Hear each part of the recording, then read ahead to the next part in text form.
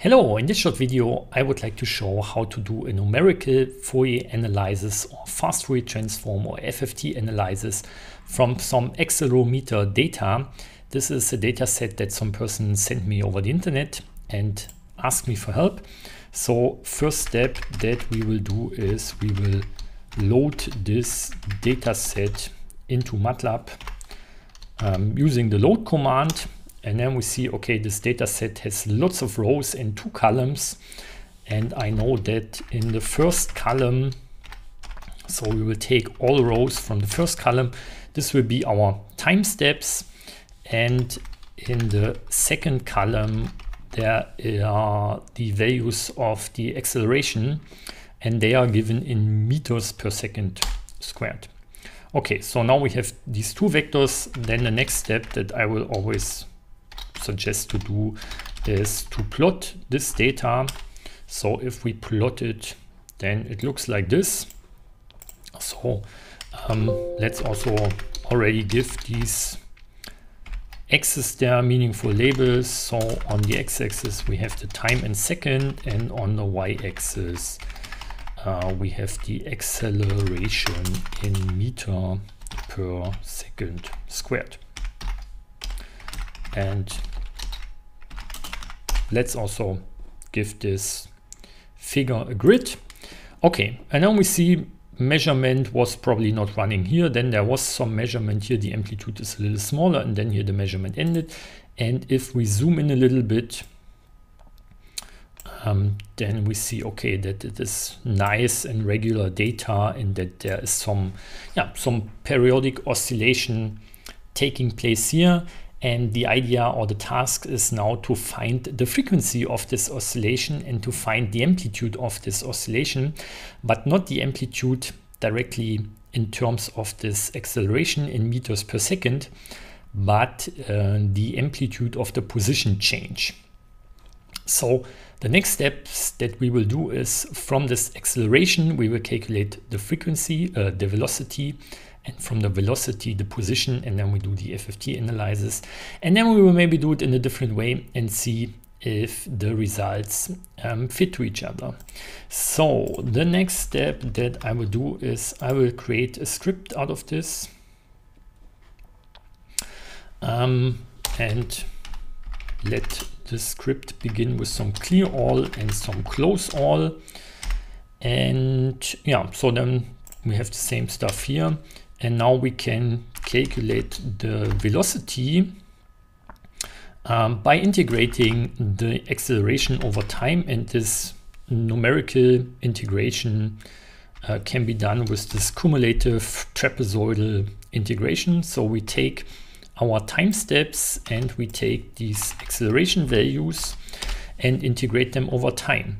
And um, so the first figure should be always plotted in the, or this first plot should be plotted in the first figure. So then I will open up a second figure here and now plot the velocity um, in meters per second. And this also makes sense in terms of the units. If you take the acceleration, uh, which is in meter per second square, integrated over the time, one of these seconds will cancel each other and we end up with meters per second. Okay, so let's plot this one here. And then we see, okay, this now is the velocity.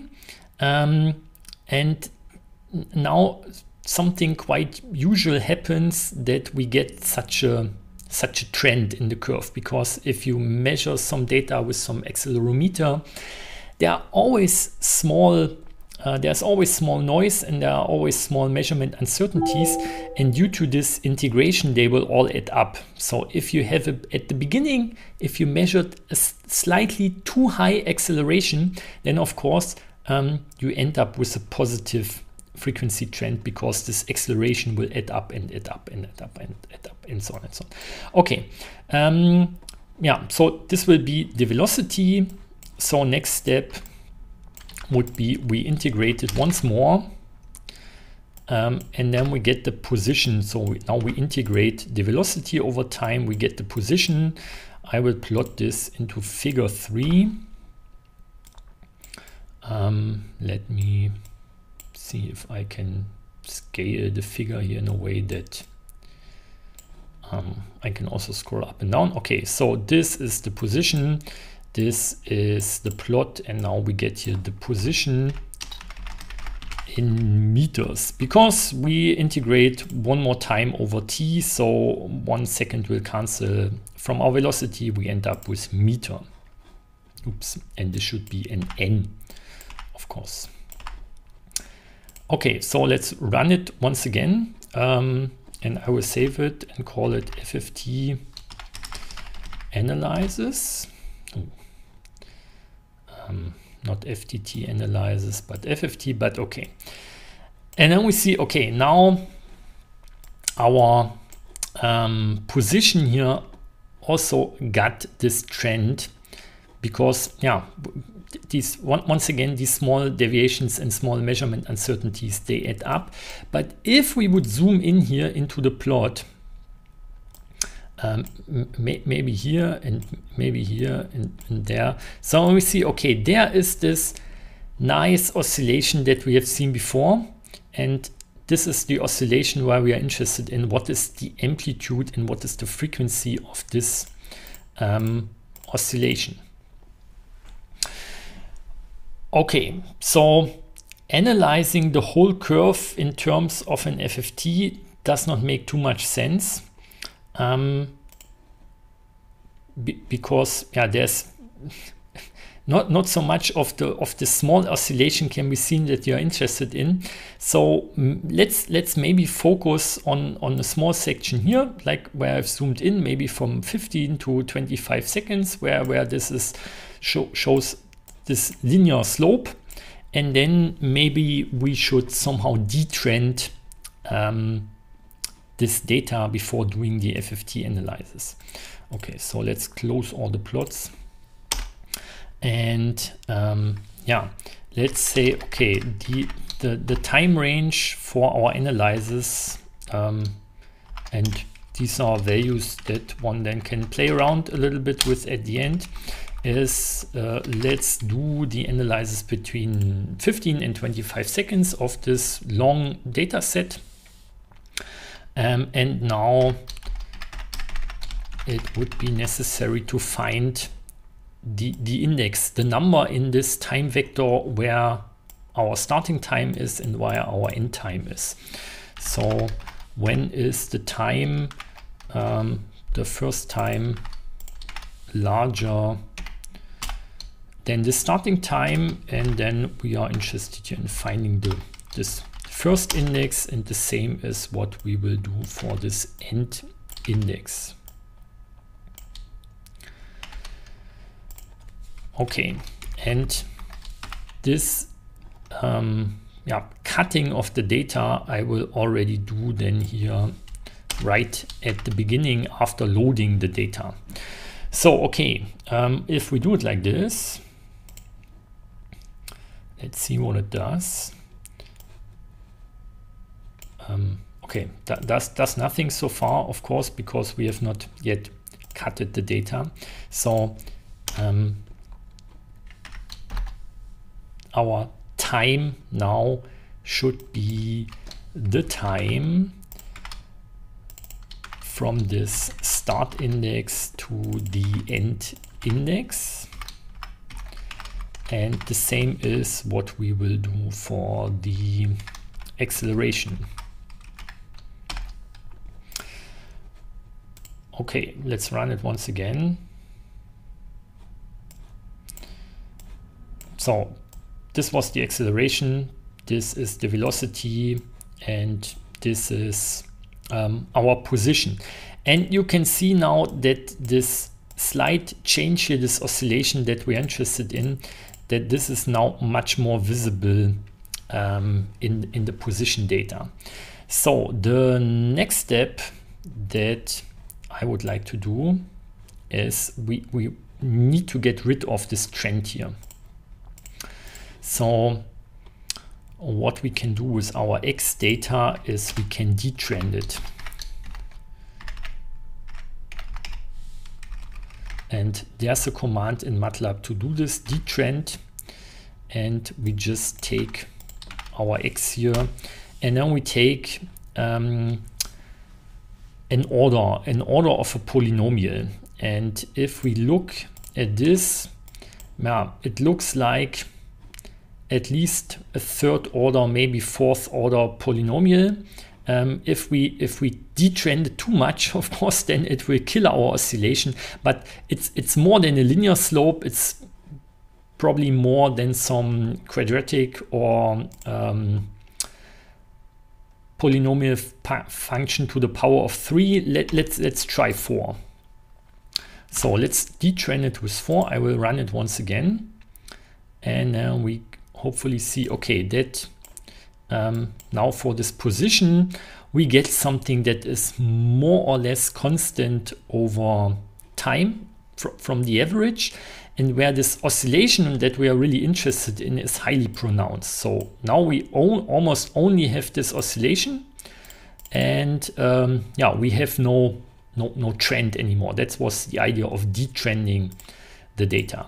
So the next step would be that we can go and continue with doing the FFT analysis. Um, before we do this, we should check that our time steps are really equidistant. So um, I will close all plots shortly and into a new plot I will plot the difference between the time steps diff t and now we can see, okay, these time steps, they are fairly equidistant. There is a shorter range here where the time steps, where, where some time steps are a little shorter and a little longer. Um, but this seems to be only like one one percent or so, less than one percent. So this is mm, hopefully not that problematic. Um, so I would say, okay, these time steps are fairly fairly constant in this uh, range that we are looking at. Um, so this is okay, but uh, what we need to do before doing the FFT analysis, we need to set the first time step to zero. So we will, from our times, we will subtract the first time step so that the yeah, first time step is zero. Okay, so now we can use um, this Fourier function here that I've used in several other videos so far.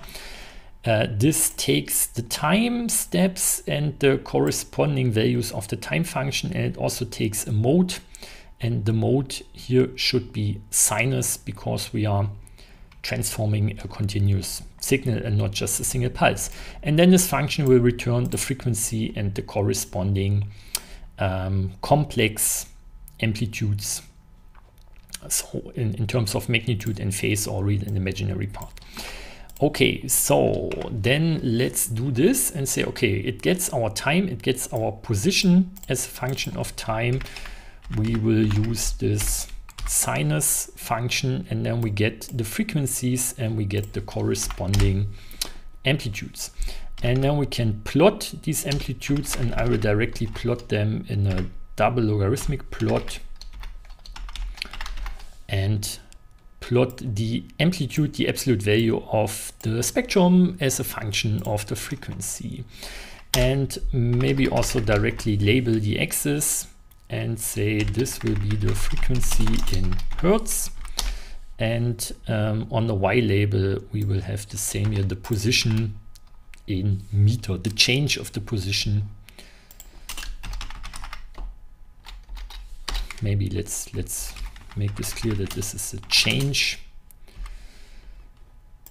on the periodic change of position in meter. Um, also a grid and plot this into figure 4. Okay, so let's run it and see what it does.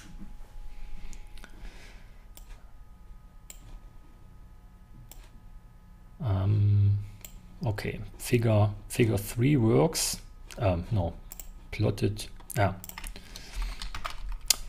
The, the figure command should of course happen before the plotting command. Okay, so then this is the result. Um, and then we see, okay, there is some spectral quantity and there and there and there, but there is one main huge peak and this happens at um, 29.28 hertz. So this is the main resonant frequency and the amplitude there, uh, the Y value is 0.04179.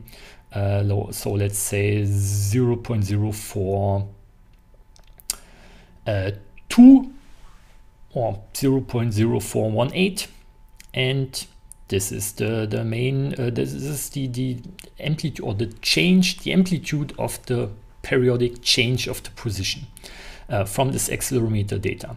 And then we see okay there is some second harmonic here and there's a third harmonic here. They occur at multiples of this fundamental frequency. This is the fourth harmonic fifth harmonic and so on. But this is the main harmonic frequency. Okay remember these values that we got there. Um, maybe I will um, export the cursor data to the workspace or maybe what we can also do is um, we can find from our spectrum here from the absolute value we can find the maximum. So this will be our um, change. Let's display this here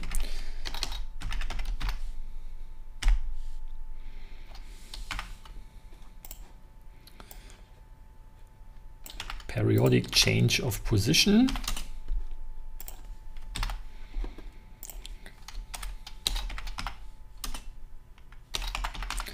and we need to convert this number here to a string and also append the unit that this is in meter. And yeah, from from the place where this maximum um, periodic change occurs, we can also get the frequency if we um, say, okay, where is where is this absolute value of the spectrum the same as the maximum value and then find this then we get okay this is the frequency index and if we use this as the index of the frequency then we will also get the maximum frequency. And this would be also the data if I open this here that would be stored in my cursor uh, the 0.048 something and then um, the this data index and the 29 point something frequency. So um, with these commands here, we can get the, the frequency where this happens. Oops, this was not the right command. I would like to have this one here. So Let's call this resonant frequency.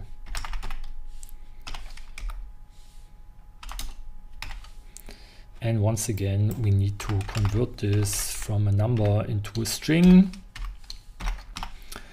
and add the unit hertz.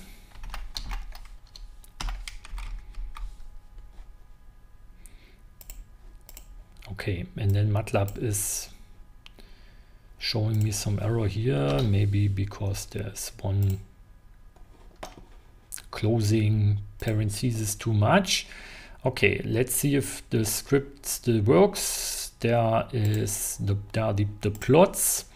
And okay, then we get the resonant frequency and the periodic change of the position.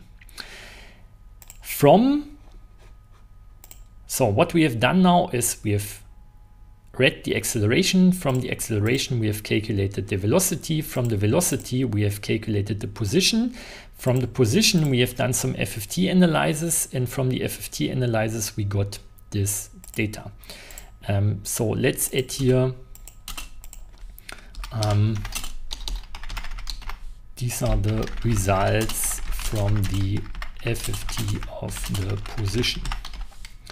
So what we could also do as some alternative way is we could do some FFT of the acceleration directly. So let's do this.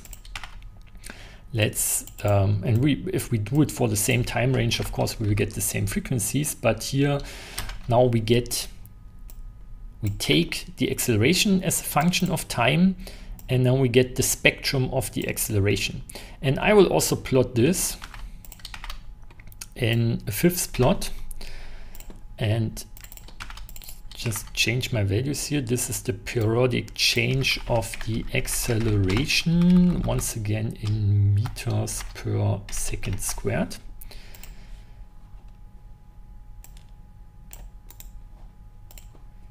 And I will evaluate this. Okay, and then we see this is the FFT of the acceleration.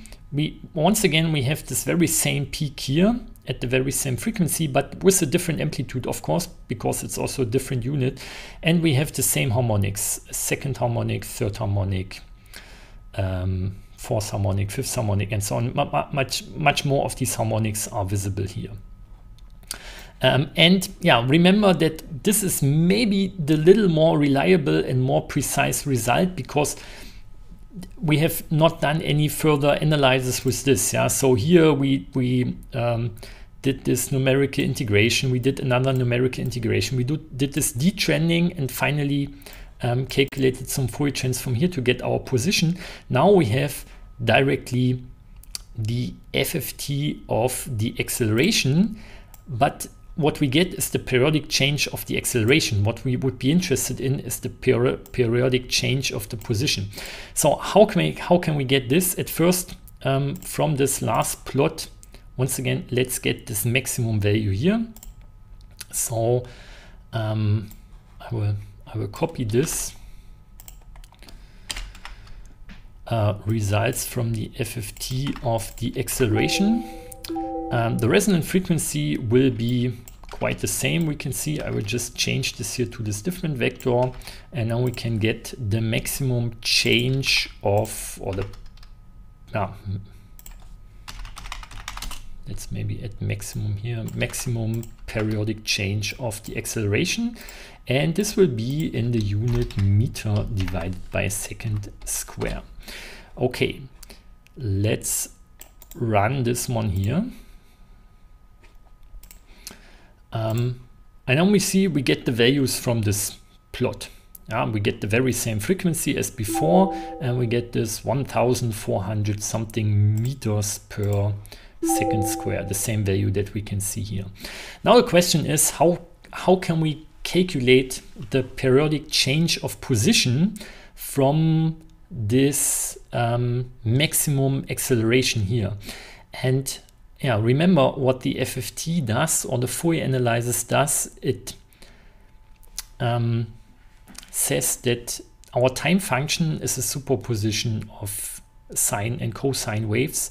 So if we have a huge peak here, it means we have a huge acceleration happening with a sinusoidal change with this frequency and this amplitude that is given there with this frequency and with this amplitude. So now we can do the uh, numerical or no, we can do the integration. We don't have to do the integration numerically. We can do the integration analytically. So what happens if you integrate um, a sine function, um, if you integrate a sine function, you get the cosine function, which is once again a sine function, but shifted by, by 90 degree. Um, and if you have sine of omega t, you need to divide by this inner derivative. So we need our angular frequency omega, which is 2 times p times f this resonant frequency. So um, I will save this here into the resonant, into something that I call resonant frequency. And then just plot this here. And so this will be our resonant angular frequency. And now we can get, um, and, and in the same way, I will also exclude this here and call this A max. This will be our maximum acceleration. Plot this here. or display it there. So we can get the maximum velocity um, yeah, just by taking the amplitude of this maximum acceleration and divided by the angular frequency um, because of this inner derivative or um, dividing by the factor within the argument of the inner function of this nested function. Mm, and this also makes sense. This is in meters per second square. This is in one over second. So some of these seconds will cancel. We get meters per second. And in the same way, we can also get our maximum position change if we take this and once again divide by this angular frequency. And um, yeah, maybe I can also plot this here or display this. The velocity will be Vmax in meter per second and the maximum periodic change of the position will be the x max just in meter and run this once again and then we see okay um, we get this periodic change of acceleration we get this maximum periodic change of velocity and from this we get the maximum periodic change of the position which is once again 0.018 something meters which perfectly makes sense. And um, last final confirmation step if this really works is let's go back to the script here and let's calculate um, some Fourier transform of the velocity. So we take the velocity that we have got by numerical integration from the acceleration and also calculate the spectrum of this and plot this. So then this will here be the velocity and this will be in meters per second. And I will plot this into the sixth plot. Now we have already quite a lot of plots. And see what it does. So th this last one here now is the spectrum of the velocity. Of course, we can once, once again see the very same um, frequencies there. And we also see this amplitude 7.7 something meter per second. And this is also what our script here has calculated um, directly from this acceleration assuming that the change of position happens um, just in terms of a sinusoidal function. So in this video, I've shown how to calculate the spectrum of some accelerometer data um, using the FFT function in MATLAB um, and how to calculate the maximum periodic change of the position from this in different ways by doing numerical integration, calculating the velocity from the acceleration, calculating the position from the velocity, detrending this. And um, so this is the first part of the script until here. And then the other way around um, until here, this is the first part of the script. And the other way around is we will um, do a direct FFT of the acceleration and then uh, do the remaining parts from there. Some final advice and some final tips if you want to do some FFT analysis. Um, make, make clear that your data is meaningful, check your data, be aware of what are the units there because MATLAB will just calculate numbers. MATLAB will not take care about the units. You have to take care about the units and the conversions yourself. And I would always suggest also, as I have done, to plot the data, look at the plots, look if this is meaningful. If your time domain function does not look very meaningful, if it's very noisy, you probably won't get a good um, FFT out of it. And um, use this. So third advice would be use this Fourier function that I've also used in several videos.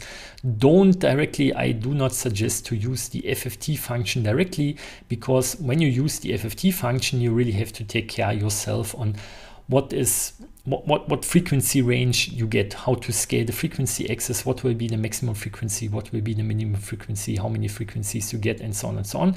And this is all nicely directly done by this function. You give time um, steps and time function values and you not only get back the amplitude, you also get back the corresponding frequencies. Okay, that's it.